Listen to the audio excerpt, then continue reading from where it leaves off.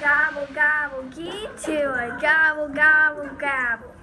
Time to turkify your teacher. Do you want to see your teacher dress up like a turkey all day? Do you want to see your teacher wear a turkey hat all day? 25 cents per turkey feather. The teacher with the most feathers wears a turkey outfit. Second and third place feather counts wear a turkey hat. What? I can't wait to see Miss Mac just like a turkey. How about Miss Allgood with a turkey hat? Hysterical.